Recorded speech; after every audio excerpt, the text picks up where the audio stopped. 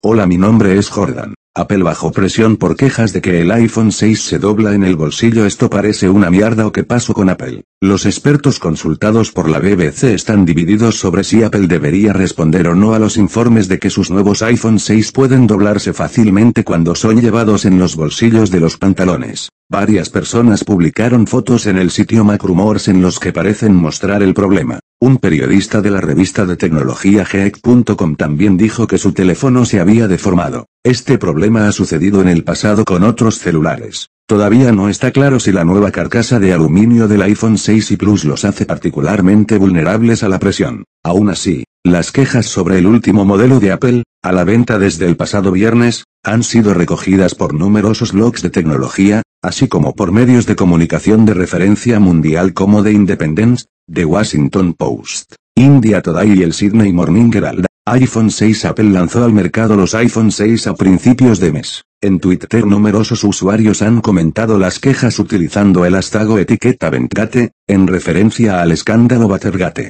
La BBC contactó con Apple pero la empresa no ha hecho ningún comentario al respecto. Ah, aquí hay unas fotos.